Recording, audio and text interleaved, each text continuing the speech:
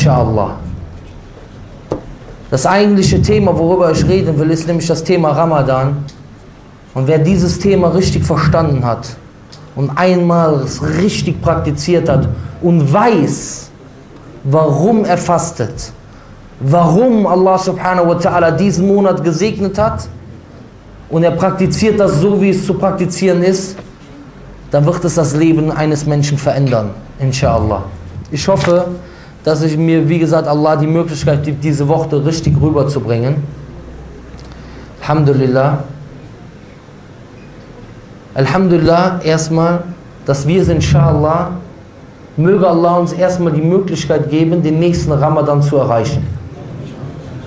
Denn die Gefährten des Propheten Muhammad sallallahu alaihi Ridwanullahi alaihim, möge Allahs Wohlgefallen mit ihnen sein, die haben immer nach einem Ramadan ein halbes Jahr Dua gemacht, Bittgebet gemacht, dass Allah ihren Ramadan akzeptiert.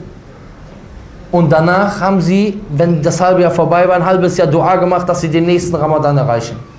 Deswegen möge uns Allah diesen Ramadan erreichen lassen. Das ist die beste Möglichkeit, sich das Paradies inshallah zu sichern. Als allererstes müssen wir uns in Erinnerung rufen, das sollten wir uns immer wieder in Erinnerung rufen, wozu es in, worum es in diesem Leben geht. Denn das ist vielleicht unser größtes Problem. Aisha radiallahu anha hat gesagt, wäre das erste, was vom Koran herabgesandt wurde gewesen, du sollst keinen Sina machen, die Leute hätten weiter Sina gemacht. Und wäre das erste, was vom Koran herabgesandt wurde gewesen, ihr sollt keinen Alkohol trinken, die hätten weiter Alkohol getrunken. Aber was war das erste, was vom Koran herabgesandt wurde? Dhikrul. Dass die Ermahnung vom Tod und von der Auferstehung was wird passieren? Was wird geschehen? Wo wirst du hingehen? Subhanallah. Was, wirst, was siehst du im Koran? Allah sagt, وَمَا خَلَقْتُ الْجِنَّ وَالْإِنسَ إِلَّا لِيَعْبُدُونَ Ich habe die Menschen und die Djinn nur erschaffen, damit, damit sie mir dienen. Was ist das Ergebnis davon? Was wird passieren? Was ist, wenn du Allah dienst? Wenn du Allah dienst, Achi, du bist auf der richtigen Seite. Alhamdulillah. Möge Allah uns zu den aufrichtigen Diener von ihnen machen. Amin. Aber es wird ein Tag kommen, Brüder, Schwestern, alle, die hier sitzen, es wird ein Tag kommen, mit ganz großer Gewissheit, wo jeder, der hier sitzt, sterben wird. Kullu nafsin dha'iqatul maut. Jede Seele wird den Tod schmecken. Jetzt frage ich dich, wo wirst du an diesem Tag sein? Wo wirst du an diesem Tag sein? Wenn dich der Engel abruft. وجاءت سكرة الموت بالحق ذلك ما كنت منه تحيد Und wenn die Trunkenheit des Todes kommt, dies ist, wovor du dich immer hüten wolltest. Was, wo, die Sache, der du entkommen wolltest.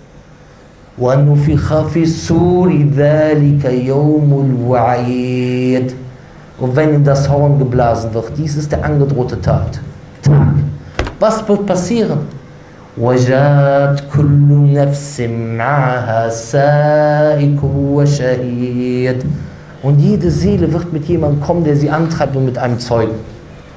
Was wird passieren? Die Trunkenheit des Todes kommt. Das ich? Ich bin dran jetzt, heute ich? Du hast doch gehört, Haji Muhammad ist gestorben, Assi Yusuf ist gestorben und der ist gestorben und Fatima ist gestorben und meine Oma ist gestorben.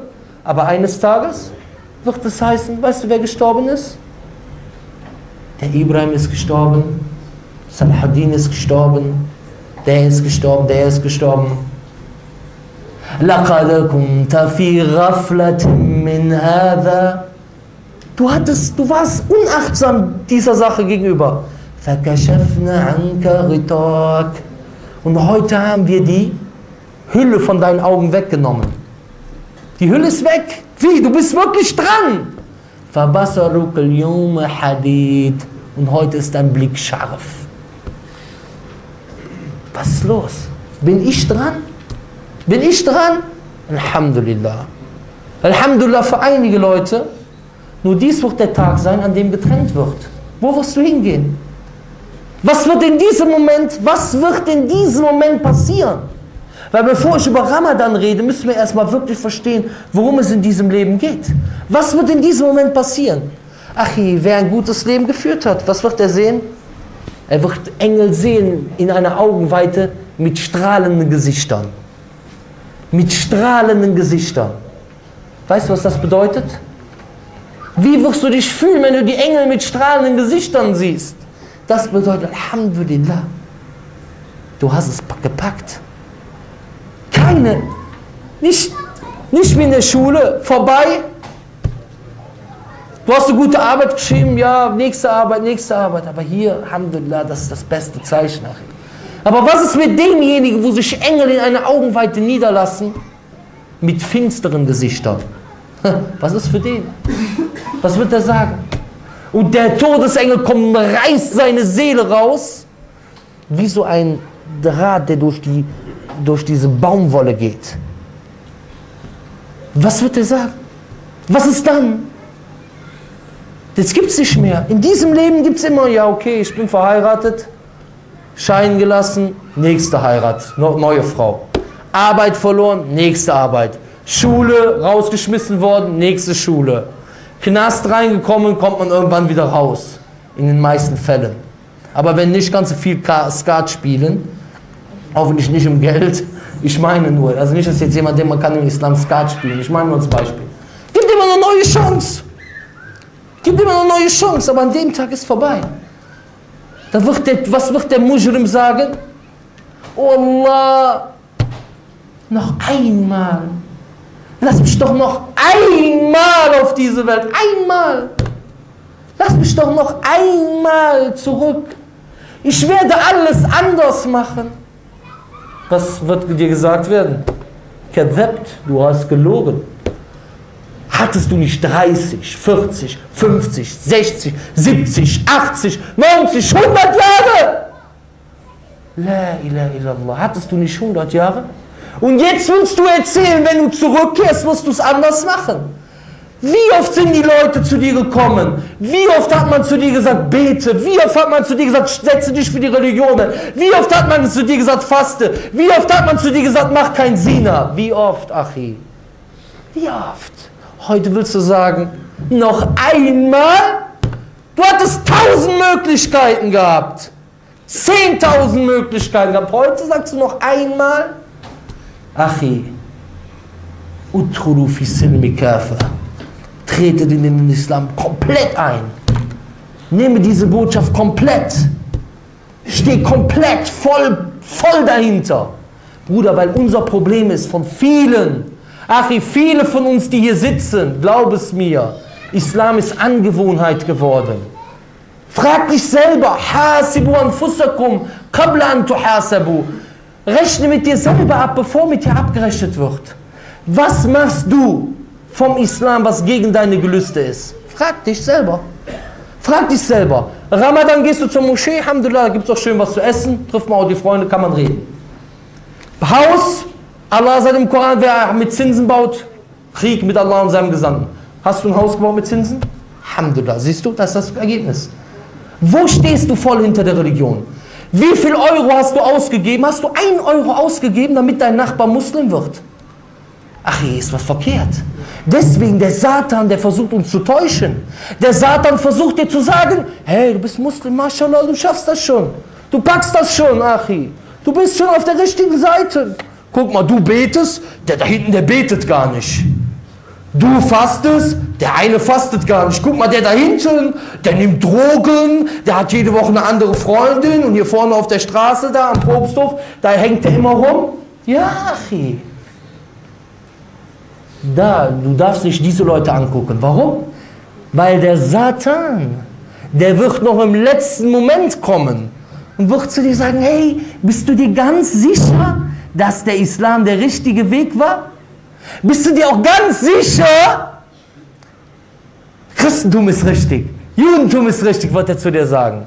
Nehme über die Jude, werde Christ. Was hast du dann zu bringen von Kraft, um dem Satan zu widerstehen? يثبت الله الذين آمنوا بالقول الثابت في في حياة الدنيا والآخرة. Allah festigt diejenigen, die glauben, im Diesseits und im Jenseits. Was ist das feste Wort? Mit dem festen Wort fest, das ist La ilaha illallah. Aber wenn du jetzt nicht voll dahinter stehst, wie willst du an diesem Tag voll dahinter stehen, wenn du kurz vorm, vorm Verscheiden bist? Deswegen, das sollte sich jeder bewusst machen, weil viele Leute von uns leben in einer Illusion. Sie sagen, ich habe eine Moschee gebaut, Alhamdulillah, jetzt äh, geht es weiter.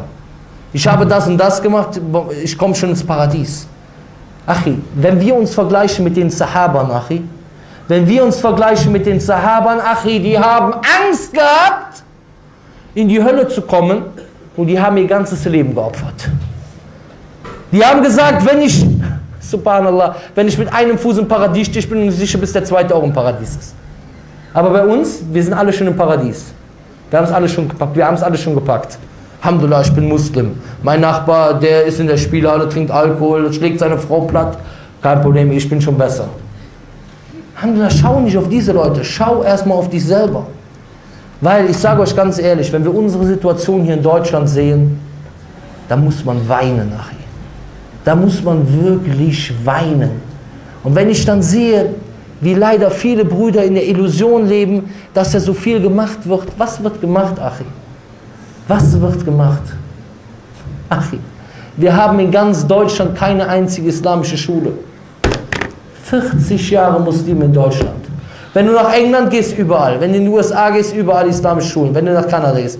Wir haben in Deutschland, in Berlin haben wir mehr jüdische Kindergärten als in ganz Deutschland islamische Kindergärten. Wie kommt das? Das heißt, man braucht sich nicht einzubilden, es ist was passiert. Und man muss nicht sauer sein auf mich, man muss sauer sein auf sich selber. Aber Alhamdulillah, Alhamdulillah, die Zeit ist noch nicht vorbei, Achi, du lebst noch. Ich sage das nicht, um dich, zu, um dich fertig zu machen. Ich sage dir das, um etwas an dir selber zu ver, ver, ver, verändern. Warum? Weil der Tag wird kommen, Achi. Der Tag wird kommen, wo die Hölle herangetragen wird. Takadu tamayyazu min Fast bersten vor Wut. Und die wird voll werden. يوم نقول لجهنم هل امتلأت وتقول هل من مزيد Am Tag, wo wir zu der Hölle sagen, bist du schon voll? Die sagt, gibt es noch mehr? Mehr, mehr, mehr! Deswegen, das sollte sich keiner, keiner sollte sich einreden. Es ist wirklich, er hat alles geschafft. Jetzt ist die Frage, wenn wir sagen, wir wollen ins Paradies kommen und wir wollen 100% hinter unserer Religion stehen, und wir sehen, unsere, wir, sehen unsere, wir sehen das Ergebnis draußen.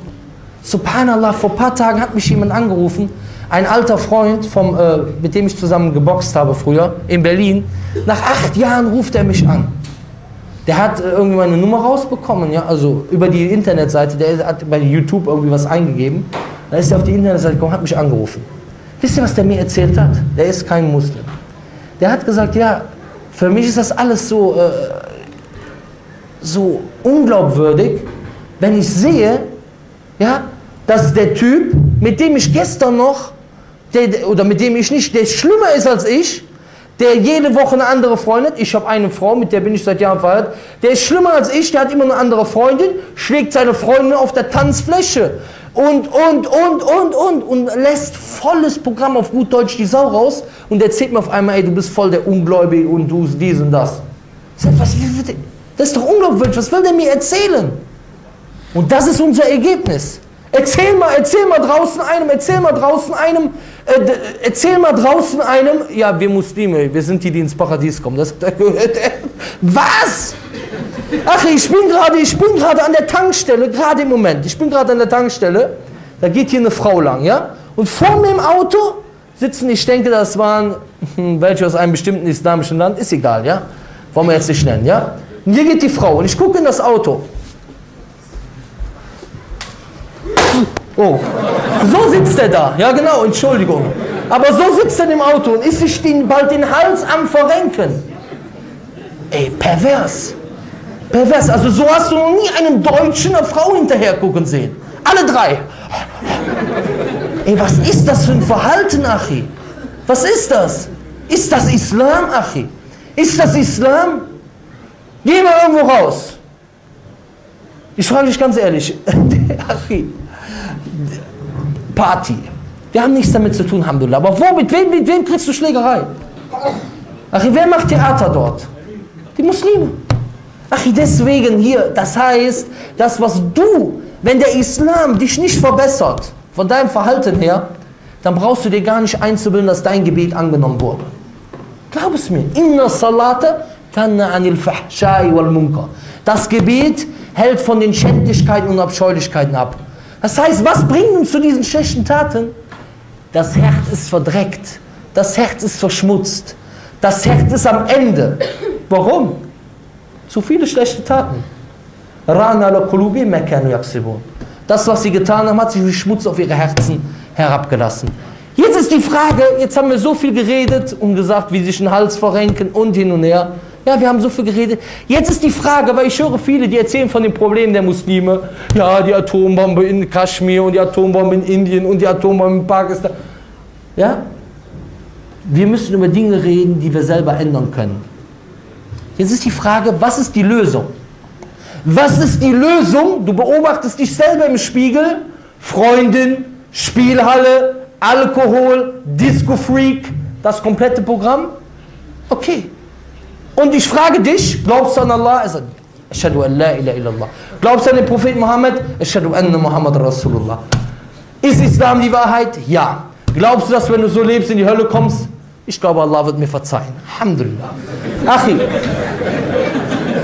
Achi, okay, Allah vergibt alle Sünden. Allah vergibt alle Sünden. Aber außer Schirk natürlich, wer mit Schirk stirbt, der wird in die Hölle gehen für alle Ewigkeit und Kuffer und Nifaq. Aber jetzt, jetzt ist die Frage, jetzt ist die Frage, okay, was ich damit sagen will ist, du siehst das ein, dass du Fehler machst. Du siehst das ein, dass das, was du machst, dass dem, was der Islam, dass das dem, was dem, der Islam lehrt, 165% widerspricht. Das heißt, äh, das ist ein Widerspruch. Aber was ist jetzt das Problem?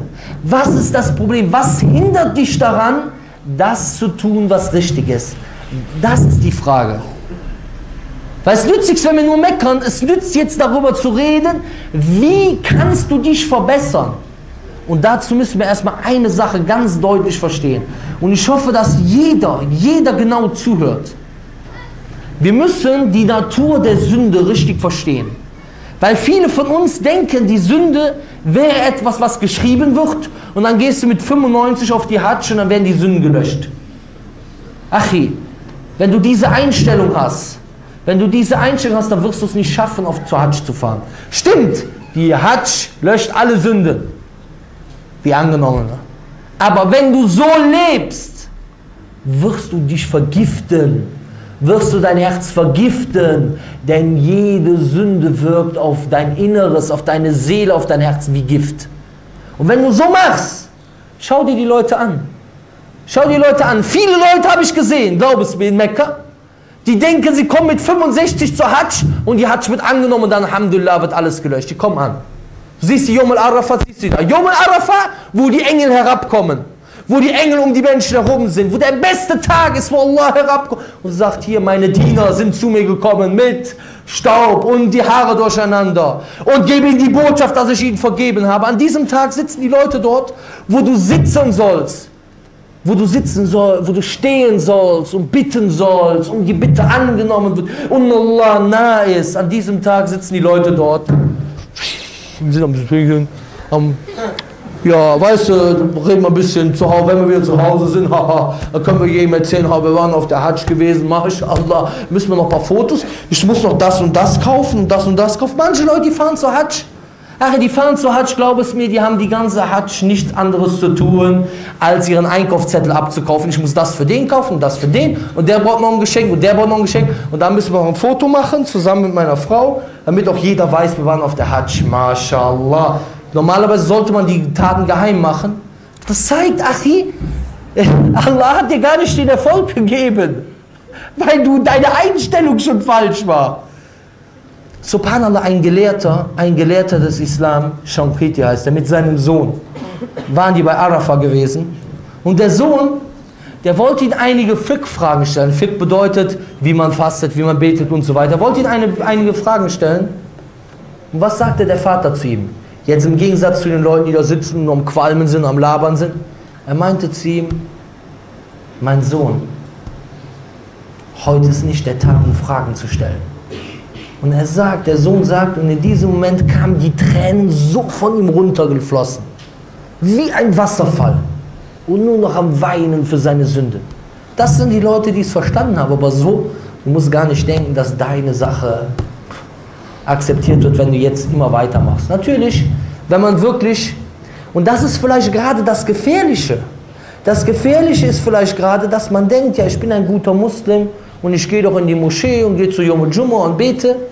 Aber im Endeffekt ist das noch gefährlicher als derjenige, der wirklich auf dem falschen Weg ist und mit richtiger, reiniger Absicht richtig zurückkehrt. Weil, Brüder, wir müssen auch gucken, dass unsere Taten nur für Allah subhanahu wa ta'ala sind. Allahumma inna nas'aluka al-ikhlas fi qawli wal amal. Jetzt, wie kannst du dich jetzt reinigen? Die Sünde ist also etwas, was dein Körper beeinflusst, was dein Herz beeinflusst. Das ist, was Allah sagt. Das, was sie getan haben, hat sich wie Schmutz auf, ihre auf ihren Herzen festgesetzt. Und viele Jugendliche sagen heute, ja, ich fange an, wenn ich 40 bin. Erste Frage, wer hat dir garantiert, dass du 40 Jahre alt wirst? Wer? Vor einem Monat, vor zwei Monaten ist noch ein 19-Jähriger gestorben beim Autounfall. Wer hat jetzt gesagt, wir können alle heute sterben?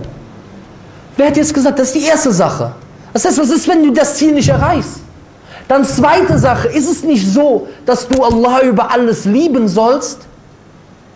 ومن الناس من يتخذ من دون الله أندادا يحبونهم كحب الله von den Menschen gibt es welche, die sich neben Allah Rivalen nehmen und diese so lieben, wie man Allah lieben soll. Und was sagt Allah dann über die Gläubigen? Wer sind die Gläubigen? Wir sind doch die Gläubigen, oder? Und diejenigen, die glauben, die sind heftiger in ihrer Liebe zu Allah. Das heißt, wenn du Allah liebst, dann liebst du seine Religion. Also wie kannst du es nicht lieben und diesen Genuss nicht spüren, dass du sagst, ich bete? Und dass du froh darüber bist, dass du keine Freundin hast. Dass du froh darüber bist, dass du ein religiöses Leben führst. Alhamdulillah, du bist, du machst schlechte Sachen, weil du denkst, ach ja, die Leute beobachten dich, die finden das cool, ey. Momo, weil der nennt dann Momo, ne? der nennt ja dem Kreis nicht Mohammed, der nennt dann Momo. Momo hat wieder 30 Telefonnummern klar gemacht. Ja? Subhanallah, du willst den Lob von den Leuten haben? Denke daran, Achi, wenn du etwas Gutes für Allah tust, dass Allah dich lobt bei seinen Engeln. Alhamdulillah, so müssen wir denken. So müssen wir denken. Und der nächste, die nächste Sache ist es, was man wissen muss, das waren jetzt die zwei Punkte mit den Sünden. Und die dritte Sache ist, dass jede Sünde, wie gesagt, dein Herz verschmutzt und es dir immer schwerer fällt, die guten Taten zu machen. Und die vierte Sache ist, dass derjenige, der in dem Meer der Sünden schwimmt, ist wie jemand, du stehst am, am Meer und du hast einen Freund, der schwimmt in das Meer rein. Und der ist schon zehn Minuten geschwommen und du rufst ihn, hey, komm zurück. Und er sagt zu dir, warte, ich schwimme noch weiter eine halbe Stunde rein, dann schwimme ich zurück. Umso weiter er reinschwimmt, umso schwerer wird es zurückzukommen. Umso weiter er reinschwimmt, umso gefährlicher ist es, umso größer wird die Wahrscheinlichkeit, dass er nie mehr zurückkommt. Und dass er ertrinkt in diesem Meer. Und so ertrinkt derjenige dem Meer der Sünden. Wie viele Leute haben wir gesehen? Wie viele Leute haben wir gesehen, die erzählen, ja, ich fange mit 40 an. Wo sind sie heute? Es geht, stimmt, einige Leute sind zurückgekehrt, aber die breite Masse? Wo ist die breite Masse? Die breite Masse wie sind die gestorben? Muslime beten nicht, machen nichts, subhanallah. Und dann der Autounfall. Ja Muhammad, ja Muhammad, sag La ilaha illallah. Was sagt der? Wo ist meine Freundin? Musik, fängt an zu singen. Der fängt an zu singen nachher. Subhanallah, das ist deine Shahada? Ja Bruder, wir lachen jetzt. Aber was ist, wenn, wenn es heute soweit ist? Was musst du dann sagen? Was musst du dann sagen, wenn du Tod liegst, im Sterben liegst und der Shaitan kommt zu dir und sagt, hey, vergiss das. Ist alles nur Einbildung. Gibt kein Leben nach dem Tod. Oder er sagt zu dir, werde Christ. Oder der Scheitan sagt zu dir, werde Jude. Oder er sagt zu dir, komm, vergiss das. Im Islam darf der Mann vier Frauen heiraten. Warum ist das so? Gib den Glauben auf. Stell dir vor, bist du dann standhaft, wenn du jetzt so lebst? Achi, niemals. Niemals. Niemals. Deswegen musst du jetzt eine Möglichkeit finden, dich von diesen Sünden fernzuhalten. Diesen Weg zu gehen, zurückzuschwimmen an das Land. Wie machst du das? Allah sagt im Koran ganz klar. Sagt immer, diese Einleitung muss sein, damit man das richtig versteht, worum es geht. Ja, die Einleitung ist länger als der Hauptteil hier. Erste Sache, Allah sagt im Koran, über die Seele, bei dem, der die Seele gemacht hat, und dann sagt er, قَدْ أَفْلَحَ مَنْ زَكَّهَا وَقَدْ خَابَ مَنْ دَسَّهَا Die Seele, derjenige, der sie reinhält, der wird erfolgreich sein. Und derjenige, der sie verkommen lässt, der wird scheitern. Das heißt, du musst sie reinigen. Und jetzt hat Gott in seiner Gnade, der allmächtige Gott Allah, hat dir eine Möglichkeit gegeben. Und die steht vor der Tür. Und glaub es mir, wenn du das jetzt tust, was ich dir sage, ja, dann wirst du aus diesem Ramadan rausgehen. Du hast jetzt eine Freundin, ja, du hast jetzt eine Freundin, du wirst rauskommen, wirst sagen, ich will die nicht mehr. Ich will die nicht mehr. Du bist, gehst jetzt ins Spielcasino, du wirst rauskommen aus dem Ramadan, du wirst sagen, ich will kein Spielcasino mehr. Du machst jetzt schlechte Taten, du wirst sagen, ich will nur noch das Angesicht Allah subhanahu wa ta'ala am jüngsten Tag. Wenn du das praktizierst, warum?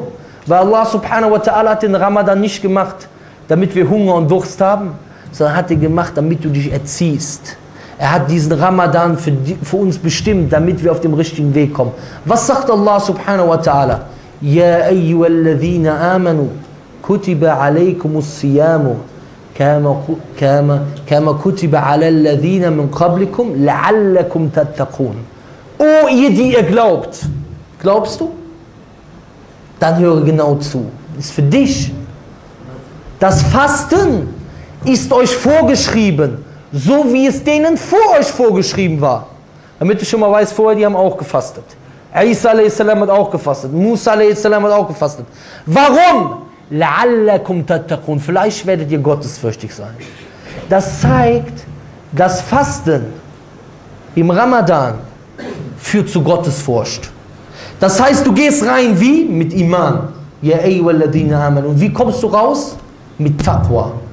Und wenn du Taqwa hast, du hast jetzt Probleme, du hast jetzt Probleme, subhanallah, mein Auto, mein Haus, meine Familie, mein dies, mein das, mein das, mein dies. Achi, ich gebe dir eine Lösung. Du kennst diese Hochzeiten immer, ja? Bei den Hochzeiten wird immer gesagt, einer spendet, ja? Und dann machen die alle für den Dua. Da muss man drauf hören, ja? Die, die spenden Geld und steht da vorne einer, oh, und äh, Ahmed so und so hat 50 Euro gespendet und er wünscht sich Dua für euch. Hör mal, was die Leute sich wünschen. Du hörst immer, Gesundheit wünscht er sich, Haus, dies, Probleme, Arbeit, fast immer Gesundheit. Ich sage nicht, man kann keine Dua für Gesundheit machen, aber ich habe noch nie gehört, ich habe noch nie gehört, dass jemand gesagt hat, mach Dua für mich, dass Allah mich zu den Muttaqin macht. Habe ich noch nie gehört. Ach, ihr weißt, was das ist? Das ist ein Armutszeugnis. Ich habe noch nie gehört, dass jemand sagt, mach Dua, dass ich ins Paradies gehe. Der sagt Gesundheit. Was nützt dir Gesundheit, wenn du in die Hölle gehst? Mein Haus, meine Oma, mein dies, mein das. Denk mal an dich selber.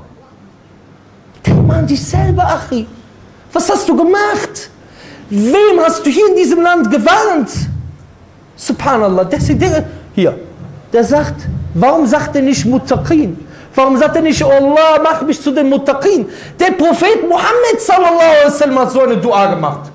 Wer sind wir? اللهم آت نفسي تقواها والزكية أنت خير من زكاها أنت وليها ومولاها Oh Allah, gib meiner Seele Taqwa, Frömmigkeit und reinige sie. Subhanallah, Achi. Warum macht das keiner? Was sagt Allah subhanahu wa ta'ala im Koran, wenn du Taqwa hast? Was sagt er über die, die Taqwa haben? Du hast Probleme, Wünsch dir Takwa, hast du keine Probleme mehr. Weil dann wirst du mit allen Problemen klar. Was ist der Beweis dafür? Was ist der Beweis dafür?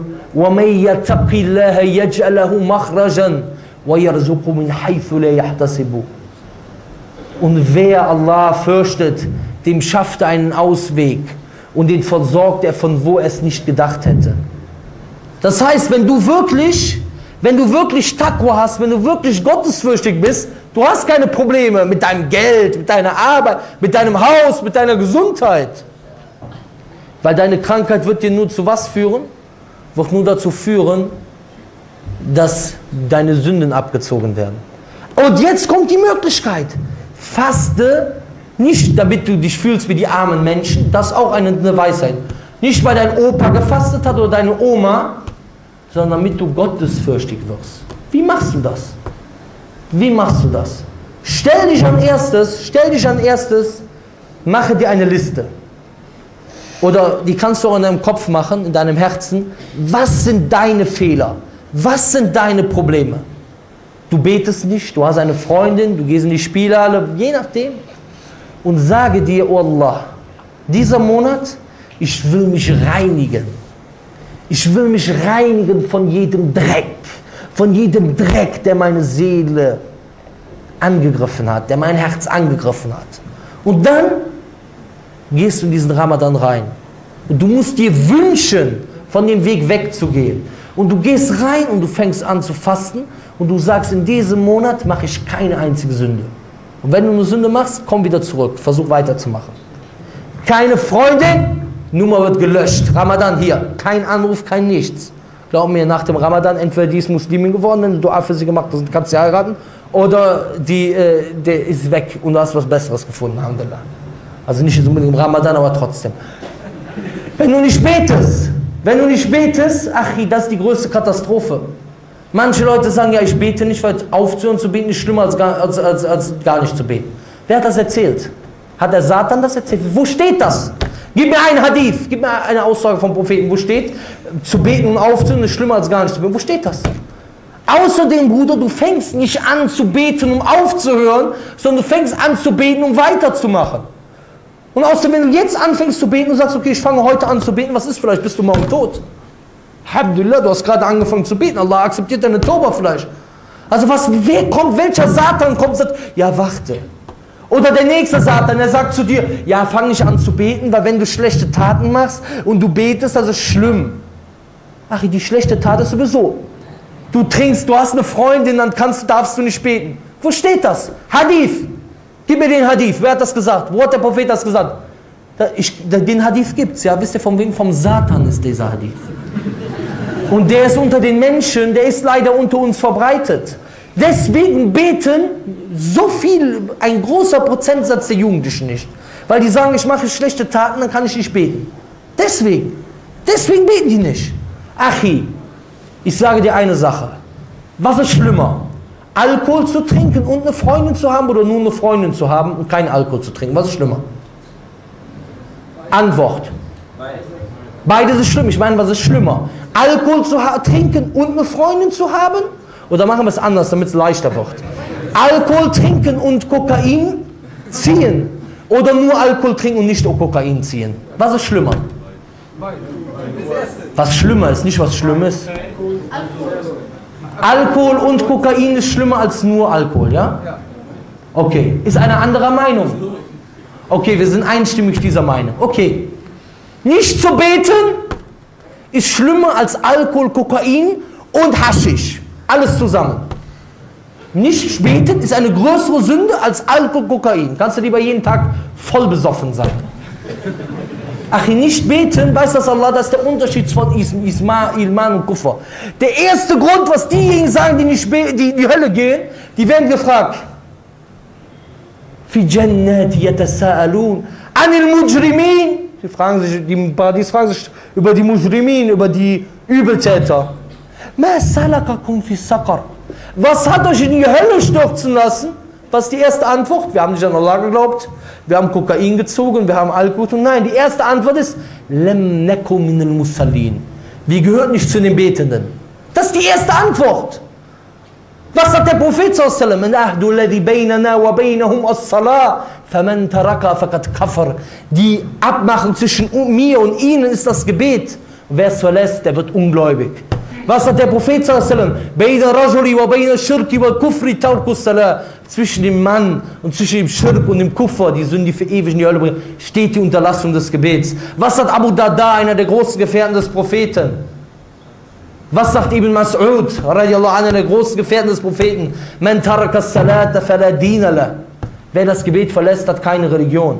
Was sagt Allah subhanahu wa ta'ala im Koran über die Mushrikun, über die Götzendiener? فَإِن تَابُوا وَأَقَامُوا الصَّلَاةَ وَآتُوا الزَّكَاةَ فَإِخْوَانُكُمْ فِي دِينِ Wenn sie Toba machen, Reue und das Gebet verrichten und die Zakah geben, dann, dann, dann sind sie Brüder im Glauben. Das heißt, welcher Schlauberger hat erzählt, es ist schlimmer zu beten und eine schlechte Tat zu machen als, als äh, Dings. Wenn du Heuchler bist, okay, ist noch schlimmer. Aber diese Sünde ist eine Sünde, wo die Meinungsverschiedenheit ist zwischen den Gelehrten, ob du in die Hölle gehst und rauskommst oder ob du in die Hölle gehst und nie, in deine, nie mehr rauskommst. Für Ewigkeit. Das heißt, wenn du nicht betest, dann fang in diesem Ramadan an, Achi. Fang in diesem Ramadan an, Achi, Ukti, zu beten. Nicht einmal am Tag, nicht zweimal am Tag, fünfmal am Tag. Solltest du es vergessen haben, weil du noch zu schwach bist, dann bete die nach. Wenn du es vergessen hast. Nicht, dass du sagst, okay, dann bete ich abends, äh, bete ich einmal in der Woche alle Gebete zusammen. 35 Gebete, ja. Nein, in diesem Moment. Weil es kann sein, du vergisst was, Alhamdulillah, aber mach, mach, mach, mach. Erster Schritt, beten. Alle Sünden verlassen. Versuche den Staub der Sünde nicht zu berühren in diesem Ramadan. Wenn du so reingehst und dann, was hast du im Ramadan für eine Chance? Dieser Ramadan, Allah subhanahu wa ta'ala, das große Missverständnis, was viele Leute haben, ist, da diesen Spruch hört man oft, das Subhanallah, als ich, als ich den ersten Ramadan mitgemacht habe, ja, also als ich das erste Mal gefastet habe und so einen Ramadan erlebt habe als Muslim, kam jemand zu mir, einem bestimmten islamischen Land, der meinte zu mir, machst du auch Ramadan? Ich meinte zu ihm, wenn ich kein Ramadan mitmachen würde, also wenn ich nicht fasten würde, da würde ich mich nicht Muslim nennen. Guck mal, das ist so ganz selbstverständlich. Jemand sagt, er ist Muslim, ja, ich faste nicht, bete nicht, mach gar nichts. Freundin, ach ja, kann man alles so sehen. Guck mal, guck wo wir gelandet sind, Achi. La ilaha illallah. So, was ist an diesem Aussage falsch? Machst du Ramadan? Wie machst du Ramadan? Das heißt, fastest du im Ramadan? Machst du Ramadan? Ramadan ist ein Monat. Du sagst auch nicht, machst du Dezember oder machst du Januar? Ramadan ist ein heiliger Monat. Und wie wird dieser Monat verbracht? Dieser Monat, Allah vermehrfacht die guten Taten und Allah vermehrfacht die Sünden. Das kann sein, du gehst in Ramadan, kommst mit mehr Sünden raus als vorher. Aber die, dieses Fasten. Und was machst du tagsüber? Tagsüber fastest du. Von kurz vor Sonnenaufgang bis Sonnenuntergang. Warum? Weil Allah dies befiehlt. Und wenn du dies machst, wenn du diesen Ramadan gehst, du reinigst dich. Was sagt, was sagt der Prophet? Der Prophet sallam, man sama Ramadan imanan wa ihtisaban, ghufira lahu ma taqaddama min dhanbi. Wer den Ramadan fastet, im Glauben, und in der festen Erwartung, das heißt diesen Lohn zu bekommen, dem wird Allah die Sünden verzeihen, die vorher gekommen sind. Dann, was machst du abends? Weil manche Leute, die denken wirklich tagsüber, ne, fasten und abends kannst du machen, was du willst. Weil die sagen, machst du Ramadan, dadurch denken die, Ramadan wäre Fasten. Nein, Ramadan ist ein Monat. 29 bzw. 30 Tage mal 24 Stunden. Nicht 7, 8 Stunden äh, wo, äh, tagsüber, und nachts äh, dann äh, in die Disco gehen und den Bär machen. Was ist abends? Was ist abends? Abends gehst du zum Tarawih-Gebet und du gehst jeden Tag zum Gebet. Und wäschst dich vor dem Gebet, gehst zu dem Gebet und du gehst in die Moschee nicht, weil du dann mit ein paar Leuten labern kannst, sondern du gehst dahin, weil du sagst, Allah, ich will, dass du mich von allen Sünden reinigst. Und Allah, ich will, dass du mich recht leitest. Was sagen wir in jedem Gebet? Achi, 17 Mal am Tag, in jedem Raqqa sagen wir, Ihdina sirat al-mustaqim. Führe uns den geraden Weg. Warum, warum sagt der Prophet, bi al-kitab, äh. Es gibt kein Gebet für den, der die Fatiha nicht liest. Warum sagt der Prophet das? Warum hat Allah nicht die Sure bestimmt? Die ein Drittel vom Koran in ihrer Bedeutung hat. Warum mussten wir die nicht in jedem Rakat lesen? Wir müssen die Fatiha lesen. Warum? Weil die Rechtleitung brauchst du von Allah. Deswegen in dieser Sure betest du Allah um Rechtleitung. Was sagt Allah subhanahu wa ta'ala im heiligen Hadith? Ja ibadi, o meine Diener, kullukum dalun, ihr seid alle, ihr seid alle irregehend. Alle! Kullukum! Ihr seid alle irregehend. Was heißt irregehend? Alle in der Hölle. Alle in der Hölle. Illa man hadaytu. Außer der, den ich recht leite. Außer der, den ich recht leite. Ach so, ja, okay. Hoffentlich leitet Allah mich recht. Nein. Wie kannst du das? Was führt dazu, dass Allah dich recht leitet?